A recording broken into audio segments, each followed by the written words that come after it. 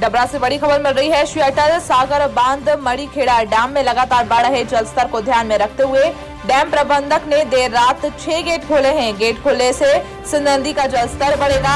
Hindustan today आप सभी आमजन से अपील करता है कि सिंध नदी के किनारे न जाएँ, नदियों से दूरियाँ बनाए रखें और प्रशासन का सहयोग करें। एक बार फिर आपको बता दें, खबर डबरा से है श्री अटल सागर बाँध मड़ीखेड़ा डैम में लगातार जल स्तर बढ़ रहा है और उसको बढ़ते जल स्तर को देखते हुए डैम प्रबंधक ने देर रात को छह गेट खोले हैं।